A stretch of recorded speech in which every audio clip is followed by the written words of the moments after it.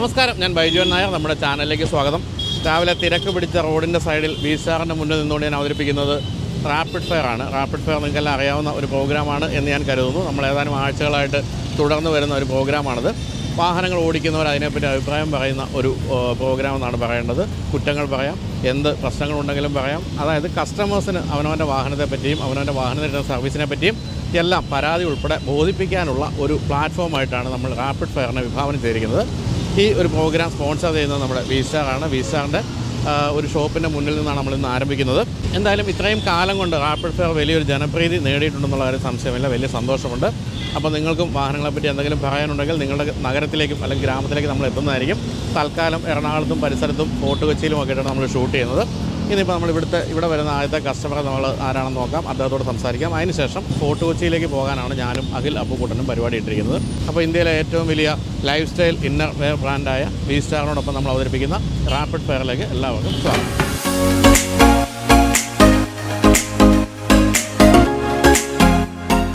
അപ്പോൾ നമ്മളിപ്പോൾ കാണാൻ പോകുന്നത് നമ്മളെപ്പോലെ തന്നെ മീഡിയയിൽ ഉണ്ടായിരുന്ന ആളാണ്. പക്ഷേ ഇപ്പോൾ മീഡിയ വിട്ടിട്ട് പുതിയ മറ്റ് ബിസിനസ്സുകളിലേക്ക് പോയിരിക്കുകയാണ്. അപ്പോൾ പരിചയപ്പെടാം. നമസ്കാരം. പേര്? എന്റെ പേര് ജോസഫ് ജോസഫ്. ജോസഫ് എവിടെയായിരുന്നു അപ്പോൾ നേരത്തെ മീഡിയയിൽ ഞാൻ കൊച്ചി ടി വിയിലായിരുന്നു. കൊച്ചി ടിവിയുടെ ചാനൽ ഹെഡായിരുന്നു ഒരു കൊച്ചി ടി വിയുടെ കുട്ടികളുടെ മനസ്സറിയുന്ന ആളാണ് ഒരു എട്ട് കൊല്ലമായിട്ട് അവിടെ ചാനലിലായിരുന്നു. ആ. നമ്മൾ കുറേ പ്രോഗ്രാംസ് കാര്യങ്ങളെല്ലാം നമ്മൾ ചെയ്യാറുണ്ട്. ഇപ്പം മീഡിയ വിട്ടിട്ട് ഇല്ല ശരിക്കും പറഞ്ഞാൽ. ഞാൻ ആനിമേഷൻ ഫേമാണ്. ഓ. അപ്പോൾ അത് ഒരു കുട്ടികൾക്കുള്ള ആനിമേഷൻ സീരീസുകൾ ഉണ്ടാക്കുക അങ്ങനത്തെ സാധനങ്ങളാണ്. ടി വി ചാനലിലൊക്കെ കൊടുക്കാനൊക്കെ ആയിട്ട് അങ്ങനെ കൊടുക്കുന്ന എവിടെ ഓഫീസ്? ഇപ്പോൾ ഇൻഫോ പാർക്കിലാണ് കല്ലൂർ സ്റ്റേഡിയത്തിന്റെ അകത്തുള്ള ഇൻഫോ പാർക്ക് നന്നായിട്ട് പോകുന്നു? നന്നായിട്ട് പോകുന്നു. ഈ കുട്ടികൾ ഇപ്പോഴത്തെ ഒരു അവസ്ഥയിൽ കുട്ടികൾ കുട്ടികളുടെ ചാനലുകളാണ് കൃത്യമായിട്ട് കണ്ടുകൊണ്ടിരിക്കുന്നത്. അതോ ഈ യൂട്യൂബിലേക്കൊക്കെ പോകുമോ യൂട്യൂബിലാണ് കുട്ടികൾ കുറേയൊക്കെ ആൾക്കാർ മാറിയിട്ടുണ്ട്. ചാനലിൽ നിന്ന് ഒത്തിരി പിള്ളേർ വിട്ടുപോയിട്ടുണ്ട്. ഒന്ന് പിള്ളേർക്ക് ഇങ്ങനെ അഡ്വർടൈസ്മെന്റ് ഒക്കെ കണ്ടിരിക്കാനായിട്ടുള്ള ആ ക്ഷമ പിള്ളേർക്ക് ഇപ്പോൾ നഷ്ടപ്പെട്ടു തുടങ്ങി. അപ്പോൾ ആൾക്കാർ പെട്ടെന്ന് പെട്ടെന്ന് മാറ്റി കാണുക എന്നുള്ളൊരു അപ്പം നമ്മളിപ്പോൾ ചെയ്തുകൊണ്ടിരിക്കുന്നത് യൂട്യൂബിനൊക്കെ വേണ്ടിയുള്ളതാണോ അതോ ചാനലുകൾക്ക് വേണ്ടി രണ്ടും ഉള്ളതാണ്. ചാനലിലേക്കുള്ളതുമാണ് യൂട്യൂബ് കണ്ടന്റും പല കോമിക്സ് പലതരത്തിലുള്ള ഐറ്റംസ് ഉണ്ട്. വി ആർ ഐ ആർ ആക്ടിവിറ്റീസും അങ്ങനെയൊക്കെയുള്ള ഒരുപാട് സാധനങ്ങൾ ഏതായാലും പുതിയ സംരംഭത്തിന് അല്ലാതെ ആശംസകളും. അതോടൊപ്പം തന്നെ നമ്മൾ ഈ കാണുന്ന ഡ്രൈവറാണ് ഡ്രൈവർ എന്ന് പറയുന്നത് ഇന്ത്യയിലെ ഏറ്റവും എന്താ പറയുക കോസ്റ്റ് കുറഞ്ഞ ഒരു സെവൻ സീറ്റർ എന്ന് വിളിക്കാന്ന് പറഞ്ഞാണ് എങ്കിൽ പോലും നമ്മളിപ്പോൾ ഒരു സെവൻ സീറ്റർ എന്നൊക്കെ പറയുമ്പോൾ മനസ്സിൽ ആദ്യം വരുന്ന എർട്ടികയൊക്കെ ആയിരിക്കും മാരുതിയുടെ അല്ലേ? അപ്പോൾ ഈ ഡ്രൈവറിലേക്ക് എത്താനുള്ള കാരണം എന്താ? ഞാൻ ആദ്യം എന്റെ ഒരു സാൻട്രോ ആയിരുന്നു. എന്റെ സാൻട്രോ ഒരു എനിക്ക് ട്വിൻ പിള്ളേരായിരുന്നു ആദ്യം ഇപ്പം എനിക്കൊരു മോൾ ഇളയ മോളും കൂടി ഉണ്ട്. അപ്പോൾ അത് ട്വിൻ ഡോട്ടേഴ്സ് ആയിരുന്നു ആദ്യം. അപ്പോൾ അവർ ഞങ്ങൾ നാലുപേരും തൃശ്ശൂർക്കാരാണ്. ഞങ്ങൾ അങ്ങോട്ട് തൃശ്ശൂർക്ക് ഇടയ്ക്ക് ട്രാവലൊക്കെ ചെയ്യുമ്പോൾ ഞങ്ങൾക്ക് ലഗേജ് നല്ലോണം വേണ്ട ആൾക്കാരായിരുന്നു. അത്യാവശ്യം ലഗേജ് വേണ്ടതുകൊണ്ട് സാൻഡ്രോയിൽ കൊള്ളാത്തൊരു സ്ഥിതിവിശേഷം വന്നായിരുന്നു അങ്ങനെയാണ് കാറ് മാറണം എന്നുള്ളൊരു കോൺസെപ്റ്റിലോട്ട് എത്തിയത്. കാറ് മാറുന്നതിന് ഞങ്ങളിങ്ങനെ ഒരു four five seater S U V Mahindra X V V three hundred ഒക്കെ ആദ്യം നോക്കിയത്. അപ്പോൾ അതിന് ലഗേജ് സ്പേസ് ഓൾറെഡി കുറവാണ്. പിന്നെ വെന്യൂ നോക്കി. അങ്ങനെ ആ റേഞ്ചിലുള്ള വണ്ടികളെല്ലാം ഇങ്ങനെ നോക്കി നോക്കി വന്നുകൊണ്ടിരുന്നപ്പോഴാണ് പെട്ടെന്ന് ഡ്രൈവറിനെ കുറിച്ച് ആലോചിച്ചു. അപ്പം ഇതിന്റെ സെവൻ സീറ്റർ വെച്ച ലഗേജ് ഇല്ല. പക്ഷെ സെവൻ സീറ്റർ ഇല്ലെങ്കിൽ നല്ലോണം ലഗേജ് ഉണ്ട്. അപ്പോൾ അങ്ങനെ ഒരു യൂട്ടിലിറ്റി നോക്കി കഴിഞ്ഞപ്പോൾ അത് വലിയൊരു കുഴപ്പമില്ല എന്ന് പറഞ്ഞിട്ടാണ് നമ്മൾ ആദ്യം ടെസ്റ്റ് ഡ്രൈവ് ചെയ്യാൻ പോകുന്നത്. അങ്ങനെ ടെസ്റ്റ് ഡ്രൈവ് ചെയ്ത്. കുഴപ്പമില്ല. നമ്മുടെ യൂട്ടിലിറ്റി ഫാക്ടറിൽ വളരെ നല്ലൊരു സംഭവം പക്ഷേ എങ്കിൽ പോലും എല്ലാ എപ്പോഴുള്ളൊരു പരാതി എന്ന് പറയുന്നത് ഈ സോ കോൾഡ് സെവൻ സീറ്റേഴ്സ് എന്ന് പറയുന്നത് ഒരിക്കലും സെവൻ സീറ്റർ അല്ല എന്നൊരു പരാതിയുണ്ട്. എന്താണ് ഇതിനെപ്പറ്റി തോന്നുന്നത്? കാരണം തേർഡ് റോ സീറ്റിൽ മുതിർന്നവർക്ക് ഇരിക്കാൻ പറ്റുമോ? മുതിർന്നവർക്ക് ഇരിക്കാൻ പറ്റില്ല. പക്ഷെ ഇപ്പോൾ ഞാൻ പറഞ്ഞ പോലെ എന്റെ എനിക്ക് പിള്ളേരുള്ളതുകൊണ്ട് പിള്ളേർ ഒബ്വിയസ്ലി അവരെ ഡെസിഗ്നേറ്റഡ് ആവും ലാസ്റ്റ് സീറ്റിലോട്ട് ഇരുത്താൻ. ഇരിക്കാനായിട്ട് അപ്പോൾ അവരെ പിന്നിൽ ഇരുത്തി കഴിഞ്ഞാൽ നമുക്ക് ഫ്രണ്ടിലോട്ട് ഇരിക്കാം. ഇപ്പം എന്റെ എന്റെ പേഴ്സണലായിട്ട് ഞാൻ പറയുകയാണെങ്കിൽ എനിക്ക് ഫാദറും മദറും ഉണ്ട്. ഒരു പെങ്ങളും പെങ്ങളുടെ മോനും ഇപ്പോൾ നാട്ടിലുണ്ട്. അപ്പോൾ അവർ ഇപ്പം ഞങ്ങൾ എല്ലാവരും കൂടെ ഒരു ഒരു കാറിൽ പോകണമെങ്കിൽ അല്ലെങ്കിൽ രണ്ട് രണ്ട് കാർ എടുക്കേണ്ട അവസ്ഥ അതല്ലാത്ത അവസ്ഥയിൽ ഇപ്പോൾ പള്ളി പോകാനോ അല്ലെങ്കിൽ ചെറിയൊരു ഡ്രൈവിനോ ഒക്കെ ഒരു ചെറിയ കല്യാണത്തിനൊക്കെ പോകണമെങ്കിൽ പിള്ളേരെ രണ്ട് മൂന്ന് പേരെ പിള്ളേർ പുറകിൽ ഇട്ട് കഴിഞ്ഞാൽ പിന്നെ ഞങ്ങൾക്ക് വലിയവർക്ക് എല്ലാവർക്കും കൂടെ മെയിൻ സീറ്റിലേക്ക് രണ്ട് കാർ എടുക്കുന്നതിന് വരെ നമ്മൾ ഒരു കാറിൽ പോകുന്ന ഒരു വിശേഷമാണ് ചെറിയ ഡ്രൈവറൊക്കെ ചെറിയ അല്ലെങ്കിൽ പിന്നെ എല്ലാവരുടെ ലഗേജും ഇത്രയും പേരോട് പറ്റില്ല. പറ്റില്ല. പറ്റില്ല. പറ്റില്ല. ഇങ്ങനെയുള്ള അവസരങ്ങളിൽ വളരെ ഉപകാരപ്രദമാണ്. ഇങ്ങനെ ചെറിയ ഡ്രൈവറൊക്കെ പോകാൻ അല്ലെങ്കിൽ നമുക്ക് ഇതുപോലെ ഫംഗ്ഷൻസിനൊക്കെ പോകണമെങ്കിൽ ഞാനൊരു ഒരു ഏഴ് പേര് ഏഴ് ഫുൾ ഗ്രോൺ മെൻ വെച്ച് വീഴ്ത്തി വണ്ടി ഓടിച്ചിട്ടുണ്ട്. അപ്പോൾ ഈ പറഞ്ഞ പോലെ കുറച്ചൊരു ബുദ്ധിമുട്ടാണ്. വലിവും പ്രശ്നമാണ്. കാരണം അത്രയും പവർ ഇതിനില്ല ഞാൻ മേടിക്കുമ്പോൾ ഇത് ടർബോ ചാർജിന് മുമ്പുള്ള വേഷമാണ് അപ്പോൾ ആ. ടർബോ ചാർജും കൂടി ഇല്ലാത്തതുകൊണ്ട് അത്യാവശ്യം നല്ല ടെൻഷനാണ്. രണ്ട് എ സിയും കൂടെ ഓൺ ചെയ്ത് കഴിഞ്ഞാൽ അത്യാവശ്യം ബുദ്ധിമുട്ടുണ്ട്. ബുദ്ധിമുട്ടാണ് ഏറ്റവും ഇഷ്ടപ്പെട്ട ഫീച്ചർ ഇതിന്റെ വാഹനത്തിന്റെ ആണ് യൂട്ടിലിറ്റിയാണ്. ഒബ്വിയസ്ലി യൂട്ടിലിറ്റിയാണ്. സീറ്റുകൾ ഒരു പത്ത് നൂറ്റമ്പത് തരത്തിൽ മടക്കാം അങ്ങോട്ടും ഇങ്ങോട്ടും തിരിക്കാൻ മിഡിൽ റോ സീറ്റുകൾ ഫ്രണ്ടിലോട്ടും ബാക്കിലോട്ടും പോകും. ഇൻഫാക്ട് കൊറോണ സമയത്ത് വൈഫും പിള്ളേരും ഒക്കെ നാട്ടിൽ വൈഫിന്റെ വീട്ടിൽ കുറേ കാലം സ്റ്റക്കായി അപ്പം മീഡിയ ആയതുകൊണ്ട് തന്നെ എനിക്ക് ട്രാവൽ ചെയ്യാനുള്ള സംവിധാനം ഉള്ളതുകൊണ്ട് ഞാൻ പിള്ളേർക്ക് അവിടെ കളിക്കാനൊന്നുമില്ല എന്ന് പറഞ്ഞിട്ട് അവസാനം ഒരു full grown B S A cycle B S എയുടെ ഒരു ഫുൾ സൈക്കിൾ ഞാൻ ഈ കാറിനകത്ത് വെച്ചിട്ട് ഞാൻ നാട്ടിൽ കൊണ്ടുപോയിട്ടുണ്ട്. അപ്പോൾ അവർക്ക് വീട്ടിൽ വീടിന് മുറ്റത്തൊക്കെ ഇട്ട് ഓടിക്കാനായി അത് വെക്കേഷൻ കഴിഞ്ഞിട്ട് പോരുന്ന സമയത്ത് ഞാൻ ആ സൈക്കിൾ ഇങ്ങോട്ട് തിരിച്ചു കൊണ്ടുവരാൻ ചെയ്തു ആ സൈക്കിൾ അടക്കം ഇതിനകത്ത് നമുക്ക് വേണമെങ്കിൽ കയറ്റി വെക്കാൻ പറ്റുന്ന ഒരു വിശേഷം. ഇങ്ങനെയുള്ള യൂട്ടിലിറ്റി ഫാക്ടറാണ് ഞങ്ങൾ നാട്ടിൽ പോവുകയാണെങ്കിൽ ചക്ക മാങ്ങ അരി പഞ്ചാര അങ്ങനെയുള്ള സാധനങ്ങളെല്ലാം. അപ്പോൾ ഒരുപാട് ലോഡ് നിറച്ച് വണ്ടി ഇത് ആയിരിക്കും. അപ്പോൾ അങ്ങനെ ലോഡ് കയറ്റി വരുമ്പോൾ നല്ല എളുപ്പമാണ്. ഇഷ്ടംപോലെ ലഗേജാണ് നാല് പിള്ളേരേ ഉള്ളൂ. അപ്പം അങ്ങനെ അങ്ങനെ കുഴപ്പമില്ല. എന്താണ് ഒരു ഉണ്ടായിരുന്നെങ്കിൽ എന്നാലോചിച്ചൊരു ഫീച്ചർ എന്താ ലഗേജിന്റെ കാര്യത്തിലൊരു ഭയങ്കര പ്രശ്നം തന്നെയാണ്. ഇപ്പം നമ്മൾ ഈ പറഞ്ഞ പോലെ ഒരു ഒരു ഏഴ് പേരും ലഗേജും കൂടെ എക്സ്ട്രാ കയറണമെന്നുണ്ടെങ്കിൽ നമുക്ക് തീരെ പറ്റില്ല കാരണം ട്രക്കിൽ ഫുള്ള് ഫ്ലഷ് ആയിട്ട് ഇരിക്കുകയാണ്. അത് അങ്ങനെ കംപ്ലീറ്റ് ആയിട്ട് ഫുള്ളാണ് വേറൊരു ലഗേജ് നമുക്ക് ഉണ്ടാ ഇത് ചെയ്യാൻ പറ്റില്ല. ബാക്കിയൊന്നും വലിയ കുഴപ്പമില്ല. പിന്നെ ഈ പറഞ്ഞ പോലെ ഇപ്പോൾ ബാക്കി സീറ്റ് ബാക്കി വണ്ടികളൊക്കെ എടുത്ത് നോക്കുമ്പോൾ ഇപ്പോൾ ഒരു വെന്യൂ അല്ലെങ്കിൽ അങ്ങനത്തെ വണ്ടികൾ എടുത്ത് നോക്കും. കുറച്ചും കൂടെ അതൊക്കെ കുറച്ചും കൂടി എന്താ പറയുക സീറ്റിംഗ് ആയാലും ഒക്കെ കുറച്ചും കൂടി കംഫർട്ടബിളാണ് ഇത് ഈ സ്പേസ് ചെയ്യാൻ വേണ്ടിയിട്ട് അവർ സീറ്റൊക്കെ ചെറുതാക്കി അപ്പോൾ ആ ഒരു ക്രീച്ചർ കംഫർട്ട് എന്ന് പറയുന്ന സാധനം കുറച്ച് കുറവാണ്. പക്ഷേ നമുക്ക് പ്രാക്ടിക്കലി കുഴപ്പമൊന്നുമില്ല. എന്ത് വിലയായിരുന്നു അന്ന് വാങ്ങിക്കുമ്പോൾ ഞാൻ പഠിക്കുമ്പോൾ സെവൻ പോയിന്റ് ടു ഫൈവ് ആയിരുന്നു. ഇത് ടോപ്പ് മോഡലിന്റെ തൊട്ട് താഴെയുള്ള വേരിയന്റ് ആണ്. അന്ന് seven point two five top മോഡലിൽ ഏതാണ്ട് ഒരു സെവൻ പോയിന്റ് നയന്റെ അടുത്തൊക്കെ വരുമായിരുന്നു മൈലേജ് നോക്കിയിട്ടുണ്ടോ? മൈലേജ് നോക്കിയിട്ടുണ്ട്. ഇതിന്റെ സ്ക്രീനിൽ കാണിക്കുന്നത് ഏതാണ്ട് ലെവൻ ട്വൽവ് ഒക്കെയാണ് കാണിക്കുന്നത്. ഒരു തേർട്ടീൻ ഫോർട്ടീൻ ഒക്കെ വരുന്നുണ്ടെന്നാണ് എന്റെ ഒരു അനുമാനം. സിറ്റി പ്ലസ് ഞാൻ ഇത് വെച്ച് മൂന്നാറും അവിടെയൊക്കെ പോയിട്ടുണ്ട്. അപ്പം അവിടെ ഒന്നും അധികം കിട്ടില്ല കാരണം ഹൈ റേഞ്ച് ഒക്കെ പോകുമ്പോൾ പക്ഷെ ഇവിടെ ഒന്നും വലിയ കുഴപ്പമില്ല. നമുക്ക് അത്യാവശ്യം ഓടിക്കാം. വലിയ കുഴപ്പങ്ങളില്ലാത്ത ബുദ്ധിമുട്ടില്ലാത്ത ഒരു. പുതിയ വാഹനങ്ങളൊക്കെ ശ്രദ്ധിക്കാറുണ്ടോ? പുതിയ വാഹനങ്ങളിൽ ഞാൻ ഒരു ആവിഡ് കാർ ഫാനാണ്. സാറിന് സാറിന്റെ വീഡിയോസ് കാണാറുണ്ട്. എന്താണ് ഇപ്പൊ പുതുതായിട്ട് കണ്ടൊരു വാഹനം സ്ട്രൈക്ക് ചെയ്ത ഏതാ? വാങ്ങിക്കാനൊന്നും അല്ലെങ്കിൽ പോലും കൊള്ളാമല്ലോ എന്ന് തോന്നിയൊരു ഇപ്പോഴത്തെ ഇ വിസ് വളരെ ഭയങ്കര ഫാക്ടറാണ് ഒരു ബുദ്ധിമുട്ട് എവിടെയാണെന്ന് വെച്ചിട്ടുണ്ടെങ്കിൽ ഇപ്പം ഞാനൊരു നയൻത് ഫ്ലോർ ഫ്ലാറ്റിലാണ് താമസിക്കുന്നത് ഇപ്പോൾ ആ ഫ്ലാറ്റിൽ നിന്നൊന്നും ഇപ്പോൾ വയറിങ്ങോ കാര്യങ്ങളോ ഒന്നുമില്ല. പണ്ടത്തെ ഫ്ലാറ്റുകളായതുകൊണ്ട് അവരാരും ഒന്നും അത് അങ്ങനെ ആലോചിച്ചിട്ടില്ല. അപ്പോൾ ഈ വഴിക്കാനായിട്ട് നമുക്ക് പറ്റില്ല ഇപ്പോഴത്തെ അവസ്ഥയിൽ. പക്ഷേ അതിന്റെ കോൺസെപ്റ്റ് ഇസ് ഗുഡ് എനിക്ക് തോന്നുന്നു മാൻഡേറ്ററി ആയിട്ട് എല്ലാ അപ്പാർട്ട്മെന്റിലൊക്കെ ഇനി വരും. വരും മിക്കവാറും കുറച്ച് ആളത്തേക്കുള്ള തന്നെ എല്ലായിടത്തും വരുമായിരിക്കും. അപ്പോൾ വൈകിയാണെങ്കിൽ ഒരു ടിവിയിലേക്ക് എത്തും. ചിലപ്പോൾ എത്തും അതിലാക്കിയിട്ട് ഇപ്പം ഇന്ന് ഇപ്പം എന്റെ ഫാദറിന്റെ വീട്ടിൽ ഫുള്ള് സോളാറാണ് ആൾ തൃശ്ശൂരത്തെ വീട് ഫുൾ സോളാർ ആക്കിയിരിക്കും.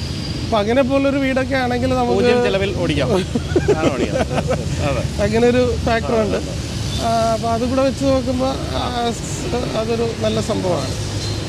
പിന്നെ ഇവനെക്കുറിച്ച് പറയുകയാണെങ്കിൽ രണ്ട് മൂന്ന് കാര്യങ്ങൾ നല്ല ഫീച്ചേഴ്സ് ഇതൊക്കെയാണ്. സർവീസ് കോസ്റ്റ് എങ്ങനെയുണ്ട്?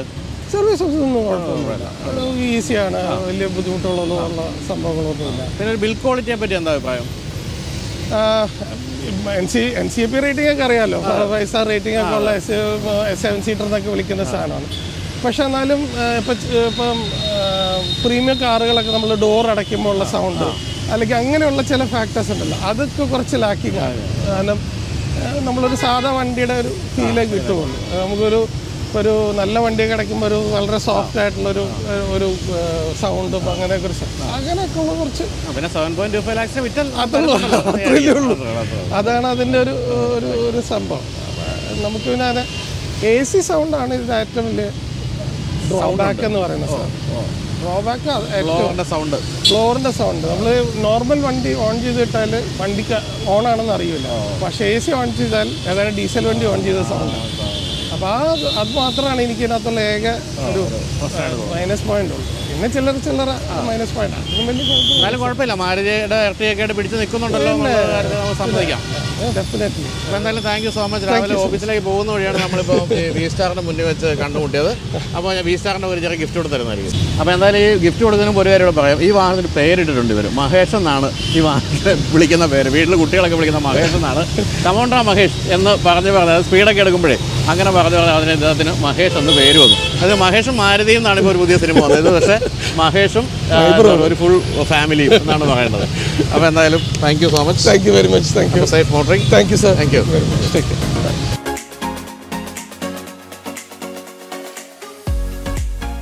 അപ്പോൾ ഇനി നമ്മുടെ കൂടെ ഉള്ളത് ഒരു മാരുതി ബലേനോ കസ്റ്റമറാണ് ഞാനും ഏഴ് വർഷമായിട്ട് ബലേനോയുടെ കസ്റ്റമറാണ് അതുകൊണ്ട് തന്നെ ബലേനോക്കാരെ കാണുമ്പോൾ സന്തോഷമുണ്ട്. തന്നെയല്ല ഇപ്പോഴത്തെ അവസ്ഥയിൽ അതായത് ഈ റീസെന്റ്ലി ഇന്ത്യയിൽ ഏറ്റവും അധികം വിൽക്കപ്പെടുന്ന മോഡൽ ആയിട്ട് മാറിയിരിക്കുകയാണ് ബലേനോ. ഏറ്റവും പുതിയ ബലേനോ വന്നപ്പോൾ. നമസ്കാരം. പേര്? നിയാസ്. നിയാസ്. എന്ത് ചെയ്യുന്നു നിയാസ്? ഞാൻ സെൻട്രൽ ഗവൺമെന്റ് ഓഫീസർ ആ എവിടെ? എവിടെ വർക്കുന്നത് ഞാൻ നേവൽ ബേസിൽ. നേവൽ ബേസിലാണ് ആ ശരി. ഇവിടുത്തെ കാരൻ തന്നെയാണോ ഫോട്ടോ വെച്ച്? പാലക്കാട് പാലക്കാട് കാരണം ആ. ശരി. അപ്പോൾ ഇവിടെ ജോലി കിട്ടി വന്ന് താമസിക്കും ഇതിപ്പോൾ പാലക്കാട് രജിസ്ട്രേഷൻ എഴുപത്. ഓ എഴുപത്. ഓ എഴുപത് എന്നൊക്കെ പറഞ്ഞ് ഇപ്പോൾ ഏതാണ് എവിടുത്തെ ഒരു പിടി കിട്ടില്ല. ചിറ്റൂരല്ലേ ആ ശരി. എന്താണ് ബലേനയിലേക്ക് എത്താനുള്ള ഒരു കാരണം? ബലേനോ കുറേ സോർട്ടിങ് ഔട്ടൊക്കെ കഴിഞ്ഞിട്ട് വന്നതാണ്. ഇതിപ്പോൾ ഒരു രണ്ടര ആവുന്നു. പിന്നെ കുറേ ഫാക്ടേഴ്സിൽ ഏറ്റവും നമുക്ക് ഡിസൈഡിങ് ആയിട്ടുള്ള ഫാക്ടർ എന്ന് പറയുന്നത് ഈ വണ്ടിയുടെ നമുക്ക് നമ്മുടെ എക്കണോമിയായിട്ട് കൊണ്ടുനടക്കാൻ പറ്റുന്ന ഒരു മെയിന്റൈനബിലിറ്റി അതാണ് ഞാൻ ഫസ്റ്റ് ആയിട്ട് കണ്ടത്. കാരണം ഞാൻ ഗവൺമെന്റ് സർവന്റ് ആണ്. അപ്പോൾ നമുക്ക് ഏറ്റവും പ്രായോഗികമായിട്ടുള്ള വേയിൽ കൊണ്ടുനടക്കാനുള്ള ഒരു ഫാക്ടർ മാരുതിയുടെ വണ്ടികളാണ്. അത് ഏതൊരു ഇന്ത്യനും പോലെ കണക്കാക്കി അങ്ങനെ എത്തി. പിന്നെ അത് മോസ്റ്റ് ഇമ്പോർട്ടന്റ് ഞാൻ വാല്യൂ ഫോർ മണി മോഡലുകൾ ഈ ഇതിന്റെ അവൈലബിലിറ്റി ടൈമിലുള്ള എല്ലാ മോഡലുകളും വെച്ച് നോക്കുമ്പോൾ മാക്സിമം മാരുതി ആ ഒരു സമയത്ത് കൊടുക്കുന്നത്. അങ്ങനെ അപ്പോൾ ഇതിനു മുമ്പ് ഏത് വാഹനം ഉപയോഗിച്ചിരുന്നത് ഇല്ല ഫസ്റ്റ് ടൈം ഫസ്റ്റ് ടൈമാണ് വാങ്ങിയത് അല്ലേ? എവിടെ നിന്നാണ് അപ്പം പാലക്കാട് നിന്നാണോ വാങ്ങിച്ചത്? അല്ല ഞാൻ എറണാകുളത്ത് തന്നെ എറണാകുളത്ത് വാങ്ങിച്ചത് എറണാകുളത്ത് എവിടെ? എറണാകുളത്ത് ഞാൻ പോപ്പുലർ നിന്നാണ്. പോപ്പുലർ ആ. എങ്ങനെ ഉണ്ടായിരുന്നു മറ്റ് കാര്യങ്ങളും ഡെലിവറി അല്ലെങ്കിൽ അതുപോലുള്ള കാര്യങ്ങൾ വണ്ടി ആക്ച്വലി ഒരു ഡിസപ്പോയിൻമെന്റ് ഉണ്ടായി. വണ്ടി ഡെലിവറി സമയത്ത് എനിക്കൊരു വേസ്റ്റ് എക്സ്പീരിയൻസ് ഉണ്ടായി. ഞാൻ വണ്ടി എടുക്കുന്നതിന് മുന്നേ ഒരു പ്രീ ഡെലിവറി ഇൻസ്പെക്ഷൻ അവർ ചെയ്യുന്നതിന് മുന്നേ ഒരു ഇൻസ്പെക്ഷൻ എന്റെ ഭാഗത്തു നിന്നുണ്ടായി അത് എന്റെ അച്ഛന്റെ ഒരു ഇൻസ്പെക്ഷൻ പ്രകാരം ഉണ്ടായതാണ്. അപ്പോൾ അങ്ങനെ അച്ഛൻ അങ്ങനെ പറയാൻ കാര്യം? അച്ഛനൊരു എക്സ്പീരിയൻസ് കുറെ കാലം മുന്നേ ഉണ്ടായിരുന്നു. അത് ഇരുപത്തഞ്ച് വർഷം മുന്നേ ആണ് അന്നത്തെ ട്രാൻസ്പോർട്ടേഷനിൽ ഉണ്ടായിരുന്ന ഒരു അനുഭവമാണ് അച്ഛൻ എന്റെ അടുത്ത് പറഞ്ഞു. അപ്പം ഞാനത് കാര്യമാക്കിയില്ല. പക്ഷെ എന്നിരുന്നാലും വാക്ക് തട്ടാതെ ഞാനൊന്ന് പോയി നോക്കി. അപ്പോൾ ഞാനത് റിക്വസ്റ്റ് ചെയ്ത് ഒരിടത്തൊന്ന് പോയി കണ്ടു. ഞാൻ എനിക്ക് കാണണമെന്ന് പറഞ്ഞു. അപ്പോൾ അത് ചെയ്തു തന്നു. ഞാൻ പോയി കണ്ടപ്പോൾ എനിക്ക് വളരെ വിഷമമുണ്ടായ ഒരു കാര്യം ഈ വണ്ടിയിൽ ഒരു ഡെന്റ് ഉണ്ടായിരുന്നു ബാക്കിൽ. അപ്പോൾ ആ- ഡെന്റ് അവരത് മാറ്റി എനിക്ക് തരാനുള്ള ഒരു ഒരു ഒരു തീരുമാനമായിരുന്നു. അപ്പോൾ ഞാനത് ചോദിച്ചു. അല്ല അപ്പോൾ അത് ഈ വാഹനമാണ് കിട്ടാൻ പോകുന്നത് മനസ്സിലാക്കിയോ? ആക്ച്വലി എനിക്ക് ഇതല്ലായിരുന്നു കാണിച്ചതൊക്കെ. വേറെ അവിടെ യാർഡിൽ കിടക്കുന്ന മറ്റു പല വണ്ടികളും കാണിച്ചു. ഞാൻ പിന്നെ എനിക്ക് ഈ രജിസ്ട്രേഷൻ ഡീറ്റെയിൽസ് വന്ന ഡീറ്റെയിൽസ് ഒക്കെ വെച്ചിട്ട് ഞാൻ ഇതിന്റെ ചേസിസ് നമ്പറും എഞ്ചിൻ നമ്പറും ചെക്ക് ചെയ്ത് കണ്ടുപിടിച്ചു. ശരി.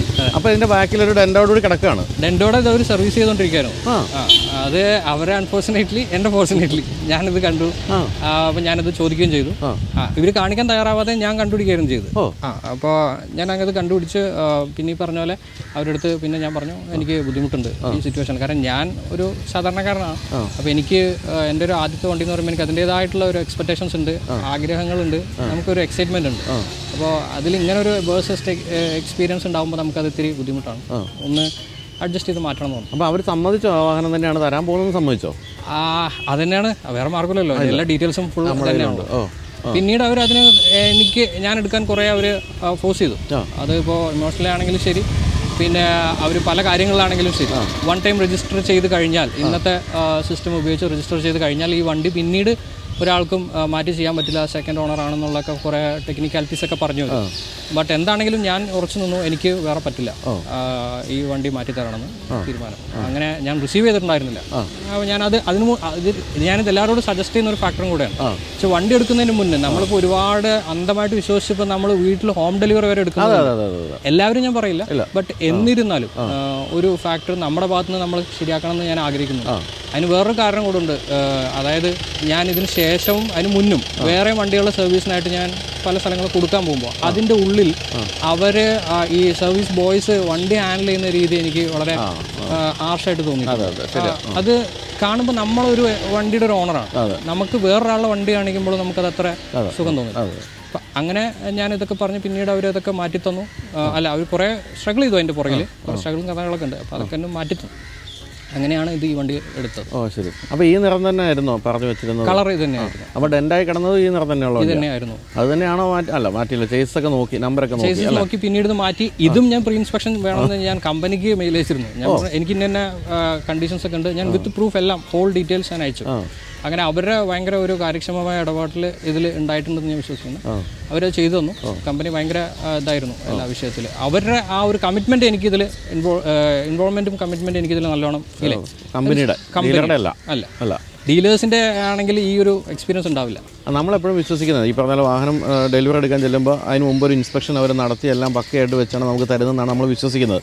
ഇപ്പം പലരും ഒന്നും നോക്കാറില്ല. എന്ത് കീ വാങ്ങിക്കുന്നു വണ്ടി എടുത്തുകൊണ്ട് പോകുന്നു. ഇനി നമ്മൾ വീട്ടിലെത്തിക്കഴിഞ്ഞിട്ടാണെങ്കിൽ ഡെന്റ് കാണുന്നെങ്കിൽ അവർ സാറേ സാറ് കൊണ്ടുപോയ വഴി വല്ലതും ആയിരിക്കും. നമുക്കറിയില്ല എന്ന് വേണമെങ്കിൽ പോലും പറയാം. അതുകൊണ്ട് ഞാൻ ഈ അടുത്ത കാലത്ത് എന്റെ ഒരു ക്വസ്റ്റ്യൻ ആൻസർ വീഡിയോയിൽ ഞാൻ പറഞ്ഞിരുന്നു. നമ്മൾ ധൈര്യമായിട്ട് വിശ്വസിച്ച് ഈ ഒരു പി ഡി ഐ കഴിഞ്ഞ വണ്ടികൾ എടുക്കുന്നത് തെറ്റില്ല. കാരണം അവർ അതുപോലെ നോക്കിയിട്ടൊക്കെയാണെന്ന്. പക്ഷേ ഇതിപ്പോൾ അനുഭവം അങ്ങനല്ല പറയുന്നത്. അതുകൊണ്ട് തന്നെ ഞാൻ ആ പറഞ്ഞ മാറ്റി പറയുന്നു. നിങ്ങൾ നന്നായിട്ട് തന്നെ വാഹനം പരിശോധന ശേഷം മാത്രമേ ഡെലിവറി എടുക്കാവുള്ളൂ. ഓക്കെ അപ്പോൾ അങ്ങനെ ആദ്യം ഒരു ദുരനുഭവത്തിലൂടെ കടന്നു വന്ന വണ്ടിയാണ്. അതിനുശേഷമുള്ള അനുഭവങ്ങളൊക്കെ ഉണ്ട് വണ്ടി എങ്ങനെയുണ്ട്? അതിനുശേഷം ശരിക്കും വണ്ടി കാർ എടുക്കുന്നുള്ള ഒരു സന്തോഷമായ ആ ദിവസങ്ങളൊക്കെ എനിക്ക് ഭയങ്കര ഒരു വിഷമമായിരുന്നു. അതൊക്കെ കഴിഞ്ഞു. ബട്ട് ഈ വണ്ടിയിൽ ഞാൻ ഹൺഡ്രഡ് പെർസെന്റേജ് സാറ്റിസ്ഫൈഡ് ആണ്. ഇതിന്റെ പെർഫോമൻസ് വൈസ് ഇതിന് ഇത് നമ്മളായിട്ട് കൊണ്ടു നടക്കുന്ന ആ ഒരു എക്കണോമി ആ ഒരു കാര്യങ്ങളിൽ മാരുതിയുടെ എന്നാൽ ഏത് വണ്ടികളിലാണെങ്കിലും പ്രത്യേകിച്ച് ബലാനോയിൽ ഞാൻ സാറ്റിസ്ഫൈഡ് ആണ്. കുറേ ദീർഘ ദീർഘദൂരമൊക്കെ ഓടാറുണ്ടോ? അധികം ദൂരമില്ല. അപ്പം ഞാൻ പാലക്കാട് പാലക്കാട് സ്ഥിരമായിട്ട് ഹൈവേ കൂടെ പാലക്കാട് ഹൈവേ റൈഡിങ് നല്ലോണം ഇത് ചെയ്യാറുണ്ട്. അപ്പോൾ ഓൾമോസ്റ്റ് ഒരു nineteen thousand kilometres two and half ഇയേഴ്സിന്റെ ഇടയിൽ ഓടി. കവർ ചെയ്തിട്ടുണ്ട്. നമ്മളിപ്പോൾ ഒരു ഒരു സ്വിഫ്റ്റിന്റെ ഓണറോട് സംസാരിച്ചപ്പോൾ പറഞ്ഞത് ഹൈവേയിലൊക്കെ ഓടിക്കുമ്പോൾ ഒരു സ്റ്റെബിലിറ്റി അല്ലെങ്കിൽ ഒരു ഓപ്പോസിറ്റ് ഒരു വണ്ടി പോകുമ്പോൾ കാറ്റടിച്ചാൽ ഈ വാഹനത്തിന് ഒരു വിറയൽ അനുഭവപ്പെടുന്നു. അങ്ങനെയൊക്കെ ഈ പാലക്കാട് ഹൈവേ തോന്നാറുണ്ടോ? ആക്ച്വലി എനിക്ക് അങ്ങനെ തോന്നിയിട്ടില്ല. ബട്ട് എന്നാലും ഇതിന്റെ ബിൽഡ് ക്വാളിറ്റിയിൽ കുറച്ചുകൂടെ മെച്ചപ്പെടുത്തേണ്ടത് മാരുതി ഇന്ന് എല്ലാ മോഡലുകളും എല്ലാ കമ്പനീസും കോമ്പറ്റേറ്റീവ് ആയിട്ട് വരുന്ന സ്ഥലത്ത് കുറച്ചുകൂടെ മെച്ചപ്പെടുത്തണമെന്ന് കമ്പനിയോട് ഒരു റിക്വസ്റ്റ് ഉണ്ട്. അത് അങ്ങനെ അങ്ങനെ തോന്നാൻ കാര്യം? അത് പല കൺസേൺസ് ഉണ്ട്.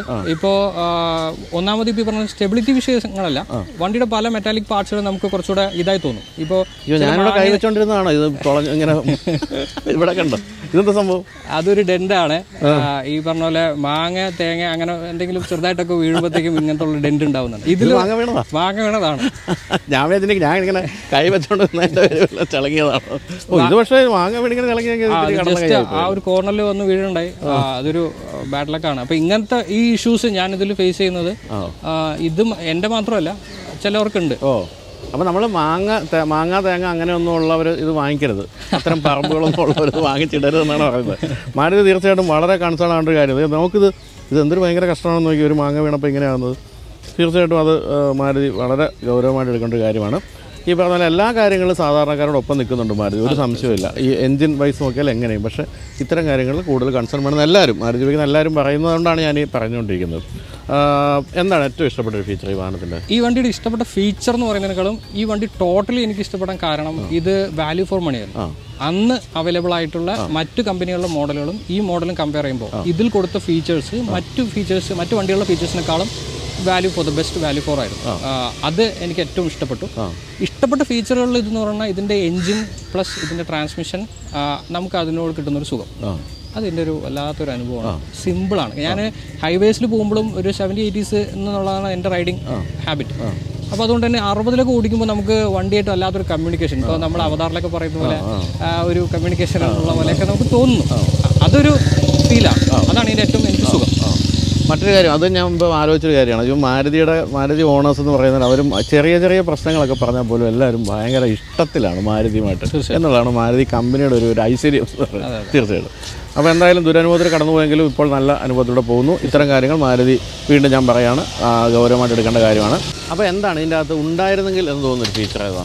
ഇതിനകത്ത് എനിക്ക് വളരെ ഇമ്പോർട്ടന്റ് ആയിട്ട് ഉണ്ടാവണം എന്ന് തോന്നുന്നത് ഇപ്പോൾ ഇതെന്നല്ല ഏതൊരു വാഹനത്തിലായാലും നമ്മുടെ മോട്ടോർ വെഹിക്കിൾ ഡിപ്പാർട്ട്മെന്റിനും കുറച്ചുകൂടെ ഒരു ദയവ് കാണിക്കാവുന്ന ഒരു കാര്യമാണ്.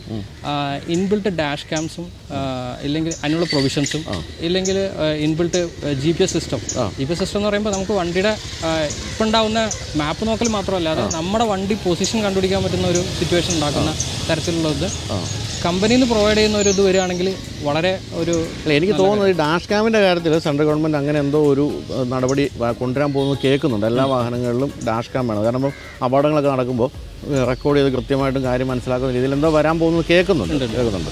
പക്ഷേ അങ്ങനെയാണെങ്കിൽ നല്ലൊരു കാര്യം. ഇതൊരു വലിയ കൺസേൺ ആണ്. ഞാൻ എടുക്കുന്ന സമയത്ത് ഇത് ആ ആ ടൈമിൽ അവൈലബിൾ ആയിട്ടുള്ള എല്ലാ വണ്ടീസിലും ഞാൻ ചെക്ക് ചെയ്തു. കമ്പനിയിൽ റിപ്പീറ്റഡായി ഞാൻ ചോദിച്ചു. അപ്പോൾ അന്നേരം ഉണ്ടായിരുന്നില്ല ഇന്നും അതിനെക്കുറിച്ച് വലിയ മാറ്റങ്ങളില്ല. Okay okay. ആ. അപ്പോൾ അതൊരു കൺസേൺ ആയിട്ട് അതും കണക്കാക്കുക. നമ്മുടെ ചെറിയൊരു ഗിഫ്റ്റ് താങ്ക് യു അപ്പോൾ എന്തായാലും മാങ്ങയൊന്നും ഇല്ലാത്ത സ്ഥലത്ത് വാഹനം ഇട്ട് പരിരക്ഷിക്കുക. അത്രേ പറയാനുള്ളത്. താങ്ക് യു അപ്പോൾ അങ്ങനെ ഫോർട്ട് കൊച്ചി നമ്മുടെ റാപ്പിഡ് ഫയറിന്റെ സ്ഥിരം കേന്ദ്രമായി മാറിയിരിക്കുകയാണ്. ഇപ്പോഴും ഞാൻ നിൽക്കുന്ന ഫോർട്ട് കൊച്ചിയിലാണെന്ന്. നമസ്കാരം. നമ്മുടെ കൂടെ ഒരു ഇന്നോവ ക്രിസ്റ്റ കസ്റ്റമറാണുള്ളത് പേര്? പേര് ആസിഫ്. ആസിഫ്. എന്ത് ചെയ്യുന്നത് ആസിഫ്? ഞാൻ ലോജിസ്റ്റിക്സ് ഫീൽഡിലാണ് വെല്ലിംഗ്ടൺ ഐലൻഡിൽ ട്രാൻസ്പോർട്ടേഷൻ ചെയ്യുന്നത് കണ്ടെയ്നറിൽ ആ ശരി ശരി. കാലമായി കറക്റ്റ് ഒരു അഞ്ചു വർഷമായി അഞ്ചു വർഷമായി ഏത് ഇത് മാനുവലാണ് മാനുവൽ ഇതിലേക്ക് എത്താനുള്ളതെന്ന് വെച്ചാൽ ഇതിനു മുന്നേ ഐ ട്വന്റി ആയിരുന്നു. അതിന് മുന്നേ ഐ ടെൻ ആയിരുന്നു. ഒരു ഫാമിലി എല്ലാവർക്കും കൂടി പോകാൻ പറ്റിയ ഒരു കാർ എന്നുള്ള രീതിയിൽ ഞാൻ ഇതിലേക്ക് വന്നതാണ്. കാരണം എന്റെ ഫാമിലി പാരൻസ്. പിന്നെ ആരെങ്കിലും ഒരാളും കൂടി ഉണ്ടെങ്കിൽ നമുക്ക് കൂട്ടി പോകാമല്ലോ അപ്പോൾ ഒരു ഒരു ചെറിയ വാഹനങ്ങൾ ഓടിച്ചിട്ട് ഒരു വലിയ ഡീസൽ എഞ്ചിനുള്ള വാഹനത്തിലേക്ക് വന്നപ്പോൾ എന്താ ഒരു മാറ്റം ഫീൽ ചെയ്തത്? എനിക്കിത് ചെറിയ വണ്ടിയിൽ നിന്ന് ഇതിലേക്ക് വന്നപ്പോൾ ആദ്യം ഒരു പേടിയായിരുന്നു. വലിയ വണ്ടിയാണല്ലോ എന്നുള്ളൊരിത്. പക്ഷെ ഇത് ഓടിച്ചു കഴിഞ്ഞപ്പോൾ പഴയ വണ്ടിനെ കാട്ടി വളരെ സ്മൂത്തായിട്ട് ചെറിയ ഇടവഴികളൊക്കെ എനിക്ക് ഓടിക്കാൻ പറ്റുന്നുണ്ട്. അപ്പോൾ അതൊരു വലിയൊരു ഇതാണ് പ്രത്യേകിച്ച് ക്രിസ്റ്റ. ഞാൻ താമസിക്കുന്ന ഒരു ചെറിയ ഒരു ഇടവഴിയിലാണ്. പക്ഷേ എനിക്ക് ആ വണ്ടി കയറ്റാനൊക്കെ വളരെ സ്മൂത്തായിട്ട് കൈകാര്യം ചെയ്യാൻ പറ്റുന്നുണ്ട്. അപ്പം ഈ സർവീസ് എന്ന് പറയുന്നത് ഇപ്പോൾ ഹുണ്ടായിൽ നിന്ന് നേരെ ഓടി ടൊയോട്ടയിലേക്ക് വന്നപ്പോൾ എന്താ ഒരു മാറ്റം ഫീൽ ചെയ്യുന്നത്? സർവീസൊക്കെ നല്ല പക്കയാണ്. നമുക്ക് ഇതിലെ ഒരു കുറ്റം പറയാൻ ഒന്നും ഇതുവരെ ഉണ്ടായിട്ടില്ല. ഇല്ല. ഇല്ല ഇല്ല പിന്നെ എന്ന് വെച്ചാൽ ഫിനാൻഷ്യലി വലിയ ഇതൊന്നും വരുന്നില്ല. ഒരു നോർമൽ നേരത്തെ ചെയ്തതിന് അതേ വലിയ വണ്ടിയാണെങ്കിലും ആ ഒരു ഇതിൽ തന്നെ വരുന്നുള്ളൂ. ഞാനിപ്പോൾ എം സി ആണ് എടുത്തേക്കണേ. എങ്കിൽ കൂടി നമുക്ക് വലിയൊരു എമൗണ്ട് വരുന്നില്ല. ക്രിസ്റ്റന്റെ എനിക്ക് തോന്നുന്നു അങ്ങനെ തന്നെയാണെന്ന് തോന്നുന്നില്ല എല്ലാവർക്കും ഒരു അഭിപ്രായം. പരാതിയൊന്നും കിട്ടിയിട്ടില്ല എനിക്ക് തോന്നുന്നു. എങ്ങനെ അഞ്ച് വർഷം കൊണ്ട് എത്ര ഓടിയിട്ടുണ്ടാവും? എനിക്ക് ഒരു നാൽപ്പത്തിനാലേ ഓടിയിട്ടുള്ളൂ. ആ. ഇല്ല ഇല്ല ഇല്ല. ശേ- കുറച്ചും കൂടി ഓടിക്കണം. കാരണം ഞാൻ അങ്ങനെ അടിച്ചു പൊളിച്ച് ഓടിക്കുന്ന ഒരു വ്യക്തിയല്ല. ഒരു നോർമൽ സ്പീഡിലൊക്കെ ഓടിക്കുന്ന ഒരാളാണ്. ലോങ് ട്രിപ്പൊക്കെ ആ ലോങ് ട്രിപ്പൊക്കെ പോകാറുണ്ട്. എന്താണ് ഈ വാഹനത്തിന്റെ ഏറ്റവും ഇഷ്ടപ്പെട്ട ഒരു ഫീച്ചർ എന്ന് ഫീച്ചർ എന്ന് പറയാൻ ഇപ്പോൾ ഒരുപാട് ഫീച്ചേഴ്സൊക്കെ കുറവുണ്ട്. എങ്കിൽ കൂടി മുമ്പത്തെ ആണല്ലോ ഇപ്പം എല്ലാം കവർ ചെയ്ത് പുതിയ ഇതിലേക്ക് വന്നിട്ടുണ്ട്.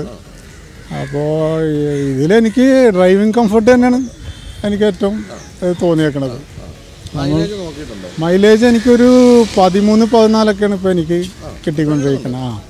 ഇതിൽ ഇല്ലാതെ പോയ ഉണ്ടായിരുന്നെങ്കിൽ എന്ന് തോന്നുന്ന ഒരു ഫീച്ചർ ആകാം ഇതിൽ മുന്നത്തെ വണ്ടിയിലും ഇതിലും ഇല്ലാതിരുന്നതെന്ന് വെച്ചാൽ ഇതിൽ ഓട്ടോ വൈപ്പർ അതില്ല. ആ. ഹെഡ് ലാമ്പ് ഉണ്ട് ഇതിൽ ആ ഉണ്ട്. ആ ഉണ്ടല്ലോ ഉണ്ട്. മറ്റേ അത് മാത്രമാണ് ഇല്ലാത്തത്. അപ്പോൾ ഇനിയിപ്പോൾ ഒരു വാഹനത്തിലേക്ക് പോവുകയാണെങ്കിൽ അതിപ്പം ടൊയോട്ടയുടെ തന്നെ ആയിരിക്കും ടൊയോട്ടയുടെ തന്നെ ആയിരിക്കും. കാരണം ഇതിന്റെ തന്നെ ഏറ്റവും പുതിയ വേർഷൻ ഹൈക്രോസിലേക്ക്. തന്നെയാണ് എന്റെ ഒരു അതെ നമ്മളിപ്പോൾ ഞാനിപ്പോൾ ഈ ഫയർ ചെയ്യാൻ തുടങ്ങിയ പിന്നെ ഞാൻ എപ്പോഴും ശ്രദ്ധിക്കുന്ന ഒരു കാര്യമാണ്. പലരും ഹൈക്രോസ് കണ്ണു വെച്ചിട്ടുണ്ട്. അതെ അതെ അതെ അതെ അതെ. ഇതിലെല്ലാ കുറവുകളും എനിക്കൊന്ന് പരിഹരിച്ചിട്ടാണെന്നാണ് അവർ ഇറക്കിയേക്കുന്നത് കാരണം മുന്നിറങ്ങിയേക്കണതൊക്കെ ഒരുപാട് കുറവുകൾ ഉണ്ടായിരുന്നു കാരണം അധികം ഫീച്ചേഴ്സ് ഒന്നും ഉണ്ടായിട്ടില്ലല്ലോ. ഇപ്പോൾ എന്ന് വെച്ചാൽ എല്ലാ ഫീച്ചേഴ്സും അവർ മറ്റുള്ള വണ്ടികളെ നോക്കി നോക്കി എനിക്കൊന്ന് കവർ ചെയ്തിട്ടുണ്ടെന്ന് തോന്നുന്നു. അതെ. ഈ വാഹനങ്ങളുടെ കാര്യത്തിൽ ഈ ക്രിസ്റ്റയുടെ കാര്യത്തിൽ അവരൊരു മിനിമം ഫീച്ചേഴ്സ് വെച്ചിട്ടുള്ള കളിയായിരുന്നു. ആ അതെ മുന്നേ ഇന്നോവ എന്ന് പറയുമ്പോൾ അധികം ഫീച്ചേഴ്സ് ഒന്നും ഇല്ലല്ലോ. ഒരു നോർമൽ വണ്ടിയിൽ ഉണ്ടാകുന്ന അതേ ഇതൊക്കെ ഉണ്ടായിരുന്നു. നമ്മളെപ്പോഴും അതിനൊക്കെ നന്ദി പറയേണ്ടത് കിയ എം ജി മോട്ടോർ അതെ അതെ അതെ. അവർ കൊണ്ടുവന്നത്. നിർബന്ധിതരാക്കി. ശരിയാണ് അത് തന്നെ ഇനിയിപ്പോൾ ഒരു വേറെ കാര്യം ചോദിക്കട്ടെ. അപ്പോൾ മൊത്തത്തിൽ ജനങ്ങളുടെ മനസ്സറിയാൻ വേണ്ടി ചോദിക്കുക ഇലക്ട്രിക് കാറുകളിലേക്ക് എന്താണ് അതിനെപ്പറ്റിയുള്ള അഭിപ്രായം? അല്ലെങ്കിൽ അത് എടുക്കാനുള്ള എന്തെങ്കിലും സാധ്യത മനസ്സിലുണ്ട്? ഇലക്ട്രിക് കാറുകളുണ്ട്. പക്ഷേ നമുക്ക് അതിനുള്ള ചാർജിങ് ഫെസിലിറ്റീസ് ഒക്കെ വന്ന് ഒന്നും കൂടി അപ്ഗ്രേഡ് ചെയ്യണമല്ലോ. കാരണം ഇപ്പോൾ പല പല റോഡ് സൈഡിലൊക്കെ കാണുന്നുണ്ട്. പക്ഷെ നമുക്കത് വലിയ വണ്ടികളൊക്കെ പാർക്ക് ചെയ്ത് അവിടെ ചാർജ് ചെയ്യാനുള്ള സൗകര്യം ഉണ്ടോ എന്ന് എനിക്കറിയില്ല. അത് അതെ അതെ അതെ അതെ അതെ. വ്യാപകമായിട്ട് വന്നു കഴിഞ്ഞാൽ എനിക്ക് തോന്നുന്നു എല്ലാവരും ഇതിലേക്കൊക്കെ തന്നെ വരുമെന്ന് വിചാരിക്കണം ഓക്കെ അപ്പോൾ thank you thank you so much അപ്പോൾ വീണ്ടും ഹൈക്രോസ് നമ്മൾ വീണ്ടും കാണാൻ ഒരു ചെറിയ ഗിഫ്റ്റ് കൊടുത്താൽ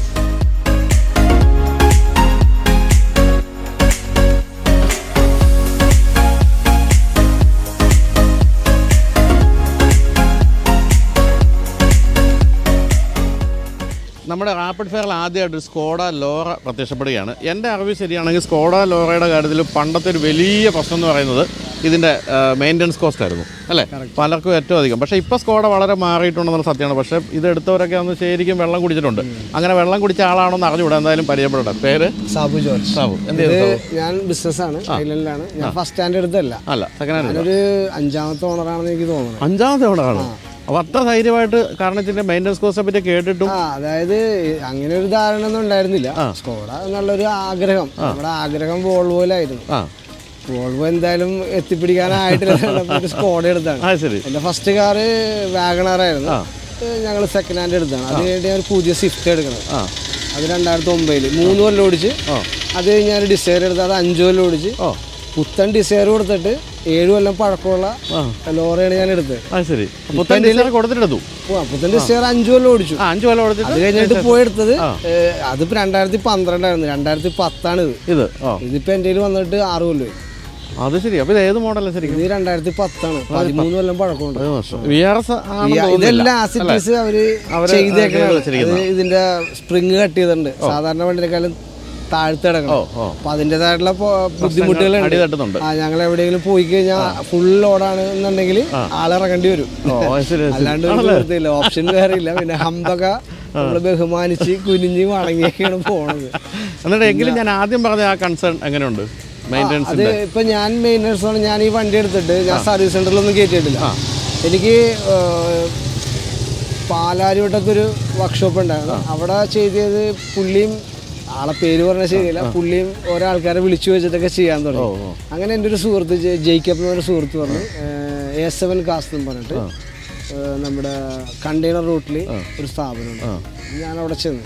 അവിടെ ചെന്നിട്ടാണ് ഞാൻ ഈ വണ്ടി പിന്നെ എന്താണ് എന്റെ വണ്ടിയുടെ സുഖം എന്ന് മനസ്സിലായത് അവർ സർവീസ് അവരെന്ന് വെച്ച് കഴിഞ്ഞാൽ സ്കോഡയിൽ വർക്ക് ചെയ്യുന്ന വെച്ചാൽ അഞ്ച് പേരാണ് അപ്പോൾ അപ്പം അവരാ അവർ റീപ്ലേസിങ്ങും എല്ലാം ഇതാണ്. പിന്നെ ഇടയ്ക്ക് വെച്ച് എന്റെ മെക്കട്രോണിക്സ് പോയി. ഏഴ് മാസം കിടന്നു. ആണോ? ഞാൻ വേറൊരു ഗിയർ ബോക്സ് തന്നെ എടുത്ത് വെച്ച്. മെക്കട്രോണിക്സ് നന്നാക്കൽ നടക്കൂല. ഇത് മാനുവലാ ഓട്ടോമാറ്റിക് ഓട്ടോമാറ്റിക് അപ്പോൾ മെക്കട്രോണിക്സ് പോയി കഴിഞ്ഞാൽ പിന്നെ വേറെ ഒന്നും ചെയ്യാനില്ല. ഞാൻ വേറെ ഗിയർ ബോക്സ് റീപ്ലേസ് ചെയ്തേക്കണ വേണ്ടില്ല മെയിന്റനൻസ് എന്ന് പറഞ്ഞാൽ ഇപ്പോൾ പല സാധനങ്ങളും. അതുപോലെ സ്റ്റിയറിങ്ങിന്റെ ഇത് പോയിട്ട് കോളം റാക്ക് പോയിട്ട് നിസ്സാര കാശിന് ഞാൻ പൊളിച്ചെടുത്ത് പോയിട്ട് എടുത്ത് വെച്ചത്. അങ്ങനെയൊക്കെയുള്ള മെയിന്റനൻസ് ആണ്. അതുകൊണ്ട് മറ്റതുപോലെ നടക്കൂല. ഷോറൂമിൽ പോയിട്ടുള്ള കളിയൊന്നും നടക്കൂല. എങ്കിലും ആദ്യം ആഗ്രഹിച്ച് വാങ്ങിച്ചൊരു വാഹനമാണ്. ആ ആഗ്രഹത്തിനോടൊപ്പം ഇത് അതിനോട് നീതി പുലർത്തുന്നുണ്ടോ അത് ഹൺഡ്രഡ് ആൻഡ് ടെൻ പെർസെന്റേജ് ആണല്ലേ? അതായത് വണ്ടി ഞാനിപ്പോൾ മാനുവൽ ഓടിച്ചത് ഞാൻ വണ്ടി അത്യാവശ്യം വലിയ കുഴപ്പമില്ലാണ്ട് ഓടിക്കുന്നത് പക്ഷെ ഇതിൽ കയറിയിട്ട് നമുക്ക് മാനുവൽ ഓടിക്കാനേ തോന്നുന്നത് കാരണം ഇത് നൂറ്റഞ്ച് ബി എച്ച് പി ആറ്റേ ഉള്ളൂ. പക്ഷെ ടു ലിറ്റർ എഞ്ചിനാണ് കാൽ കൊടുത്തു കഴിഞ്ഞാൽ വണ്ടി നല്ല രസമായിട്ട് ഓടിക്കാൻ പറ്റിയ വണ്ടിയാണ്. അപ്പം ഞാൻ ഞാൻ ആഗ്രഹിക്കണമെങ്കിൽ എനിക്ക് സെഡാൻ വിട്ടു പോകാൻ താല്പര്യമില്ല. ഞാൻ ഒന്നില്ലെങ്കിൽ സ്ലാവിയ അല്ലെന്നുണ്ടെങ്കിൽ സെക്കൻഡ് ഹാൻഡ് ബി ഫോർട്ടിയാണ് ഞാൻ ഉദ്ദേശിക്കുന്നത്. ആ ശരി. ആ. പക്ഷെ എങ്കിൽ പോലും ഈ പറഞ്ഞ പോലെ ഇതിന്റെ ഒരു പെർഫോമൻസ് എന്ന് പറയുന്നത് ഇപ്പൊ സ്ലാവിയയിലേക്ക് പോയാൽ പോലും കിട്ടില്ല കിട്ടില്ല. അതുകൊണ്ടിട്ടാണ് ഇത് വിൽക്കാനും പറ്റില്ല. ഇത് വിൽക്കാൻ തോന്നൂല. വിറ്റാലും വലിയ പൈസ ഇപ്പൊ കിട്ടില്ല കിട്ടൂല. അപ്പൊ ആ സ്ഥിതിക്ക് നമ്മ ഇത് മെയിന്റെയിൻ ചെയ്ത് ഇതിന്റെ അറ്റം കാണുന്നിടം വരെ ഓടിക്കാന്നുള്ളതാണ് അല്ലാണ്ട് വേറെ പ്രത്യേകിച്ച് കംപ്ലൈന്റ് ഒന്നും ഇതാണ്. അത് നമ്മൾ തന്നെ കാണിച്ചു വെച്ചാണ്. കമ്പനിയുടെ മിസ്റ്റേക്ക് പറയാൻ പറ്റില്ല. എല്ലാ ഹൈറ്റ് അവർ കുറച്ച് വണ്ടി ഒരു ലുക്ക് ആക്കിയപ്പോൾ എല്ലാം കണ്ട ഹമ്പെല്ലാം തട്ടി തട്ടി തടഞ്ഞാണ് പോണത്. പിന്നെ ഒറ്റയ്ക്ക് പോകുമ്പോ വേറെ ആർക്കും അതൊക്കെ കൊടുക്കാൻ നമുക്കൊരു മനസ്സിലില്ല ഇത് എങ്ങനെയാണ് അവർക്ക് ഇത് അത്യാവശ്യം എന്റെ ഫ്രണ്ട്സ് ഒന്ന് രണ്ടുപേരൊക്കെ എടുക്കും. അവരുടെ വണ്ടി എന്തെങ്കിലും കംപ്ലൈന്റ് ഒക്കെ ആയി കഴിഞ്ഞാൽ ഒന്ന് കൊണ്ടുപോകും. സസ്പെൻഷൻ അതെല്ലാം മാറ്റാനൊന്നും ഉദ്ദേശിക്കുന്നില്ല. ഈ ഇനിയിപ്പോ എന്തായാലും ഒരു ഏഴ് ആറ് കൊല്ലോട്ട് നമുക്ക് കൊണ്ടുവന്നിട്ട് ഇനിയിപ്പോ മാറ്റി മാറ്റേണ്ട ആവശ്യമില്ല. ഇനി ഇനി എത്ര കാലം കൊണ്ടു നടക്കാനാണ് പരിപാടി? പരിപാടി എന്ന് പറഞ്ഞു കഴിഞ്ഞാൽ ഇതിപ്പോ രണ്ടു കൊല്ലം കഴിഞ്ഞ ടെസ്റ്റായി അത് ഇനി ഒരു അഞ്ചു കൊല്ലം കൂടി കൊണ്ടുനടക്കുമ്പോഴത്തേക്ക് ഇത് ഏകദേശം അത് ശരി.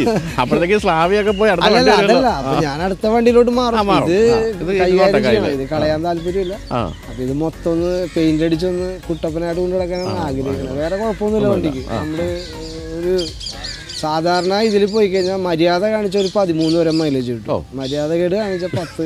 ആ രീതിയിലാണ്. ഓടിക്കണ ഓടിക്കണ രീതി അനുസരിച്ചുള്ള കാര്യങ്ങൾ പോകണം കാരണം ഇതുവരെ എനിക്ക് പ്രശ്നങ്ങളൊന്നുമില്ല തട്ടുമുട്ടൊന്നുമില്ല. പിന്നെ മക്കൾ ഓടിക്കാൻ തുടങ്ങിയ പിന്നെ സൈഡൊക്കെ പക്ഷെ ഒരു കാര്യമുണ്ട് കേട്ടോ? ഇപ്പൊ ഇങ്ങനെ ഇത്രയൊക്കെ പ്രശ്നങ്ങളൊക്കെ സംഭവിച്ച വാഹനമാണെങ്കിൽ പോലും ഇപ്പോഴും സ്കോഡയിലേക്ക് തന്നെയാണ് മനസ്സ് പോകുന്നത് പോകുന്നത് അതിനകത്തേക്ക് തന്നെ പോകണം പിന്നെ വോൾവോ നമ്മളൊരു ആഗ്രഹമാണ്. ആദ്യം എനിക്ക് ആദ്യകാലത്ത് എനിക്ക് ഹോണ്ട സിറ്റി ഭയങ്കര ഇഷ്ടമാണ്. അത് ഞാൻ എന്റെ കൂട്ടുകാരൻ വെന്റ് കൊടുത്തപ്പോൾ ഞാൻ അവനെ കുറേ ഫോഴ്സ് ചെയ്തേടാ ഇതെടുക്കും. സിറ്റി എടുക്കും. പക്ഷേ വെൻഡോയിൽ നമ്മൾ ഓടിച്ചു കഴിഞ്ഞപ്പോഴത്തേക്കാണ് അതിന്റെ തമ്മിലുള്ള വ്യത്യാസം മനസ്സിലാവുന്നത്. വെൻഡോയിൽ നല്ല അത്യാവശ്യം നല്ല വണ്ടി. സിറ്റി മോശമാണെന്നല്ല. നമ്മളെ ഓരോ വണ്ടി ഇപ്പം നമ്മളൊക്കെ എന്നെ സംബന്ധിച്ചത് ഞാനൊക്കെ പൊട്ടക്കോളോട് എന്ന് വെച്ചാൽ നമ്മൾ വിചാരിക്കും ഇതാണ് ഏറ്റവും വലിയ വണ്ടി. വേറൊരു വണ്ടി ഓടിക്കുമ്പോഴാണ് അതിന്റെ ഗ്രേറ്റ്നെസ്. നിങ്ങൾക്ക് ഇപ്പൊ ഈ വാഹനം ഓടിക്കുമ്പോൾ യൂറോപ്യൻ വണ്ടിയാണ് ഓടിക്കുന്നത്. യൂറോപ്യൻ വ്യത്യാസമുണ്ട്. അപ്പൊ ഞാൻ പറഞ്ഞു ഇനിയിപ്പോ യൂറോപ്യൻ വിട്ടു പോകാൻ പറ്റില്ല. അതാണ് ഈ ഹോണ്ട സിറ്റി ഒക്കെ ഓടിക്കുമ്പോൾ പോരാൻ തോന്നാൻ കാര്യം. ഇതിന്റെ ബിൽ ക്വാളിറ്റിയും പിന്നെ വണ്ടി ഒരു കംപ്ലൈന്റ് ഇല്ല വേറെ വിഷയങ്ങളൊന്നും ഇല്ല. നമ്മൾ കറക്റ്റായിട്ട് ഓയിൽ ചേഞ്ചും പിന്നെ അവർ നല്ല വളരെ നല്ല ടീമാണ്. അവരെനിക്ക് ഭയങ്കര ഹെൽപ്ഫുൾ ആണ്. എനിക്ക് തോന്നുന്നു അങ്ങനെ ഒരു ടീമിനെ കിട്ടിയതുകൊണ്ട് അതുകൊണ്ടാണ് ഞാൻ അല്ലെങ്കിൽ അല്ലെ ഞാനിത് മനസ്സ് കൊടുത്ത് വിൽക്കാൻ വെച്ച വണ്ടിയാണ്. ഇപ്പൊ എനിക്ക് തോന്നുന്നില്ല. അവരും വളരെ സപ്പോർട്ടീവാണ് കാര്യങ്ങൾ പിന്നെ നമ്മൾ പഠിച്ച് എവിടെയൊക്കെ പഴയ സ്പെയർ പാർട്സ് കിട്ടും. അത് എവിടെ നിന്ന് കളക്ട് ചെയ്യണം അതെങ്ങനെ കൊണ്ടുവരണം. പിന്നെ ബൈജേറിന്റെ ഒരു ഇതില്ലേ ബോർഡ്മോ അപ്പൊ ഇതിന്റെ ഒരു പോയിരിക്കണം ഒരു സാധനം പോയിരിക്കണം അതിനകത്ത് ബുക്ക് ചെയ്തേക്കണം. വരാൻ വേണ്ടി ബോർഡ്മോ എന്ന് പറഞ്ഞാൽ നമ്മൾ ഈ സ്പെയർ പാർട്സ് ഓൺലൈനിൽ കിട്ടുന്ന ഒരു കമ്പനിയുടെ വീഡിയോ നമ്മുടെ ചെയ്യാറുണ്ട്. വർഷോപ്പാർ അല്ല അത് വർഷോപ്പാര് യൂസ് ചെയ്യുന്നുണ്ട്. ഓൾറെഡി ചെയ്യുന്നുണ്ട്. വേറെ കുഴപ്പമൊന്നുമില്ല. Satisfied happy Yes. എന്തായാലും കൊള്ളാം. കാരണം വെച്ചാൽ സ്കോഡ ലോറ എനിക്കൊക്കെ ഭയങ്കര ഇഷ്ടമുള്ള വണ്ടിയായിരുന്നു. നമുക്കൊന്നും ആ കാലത്ത് ചിന്തിക്കാൻ പറ്റാത്തൊരു വാഹനമായിരുന്നു ഇപ്പം ഞാൻ എപ്പോഴും പറയാറുണ്ട് നമുക്കൊക്കെ പണ്ട് നമുക്ക് കൊതിച്ചിരുന്ന ചില വാഹനങ്ങൾ ഇപ്പോൾ സെക്കൻഡ് ഹാൻഡ് വേണമെങ്കിൽ നമുക്ക് വാങ്ങിക്കാവുന്ന അവസ്ഥയുണ്ട്. പക്ഷേ ഇപ്പോൾ പുതിയത് വേറെ. എന്തായാലും സന്തോഷം കണ്ടതിൽ ഒരു ചെറിയ ഗിഫ്റ്റ് കൊടുത്തിരുന്നതായിരിക്കും താങ്ക് യു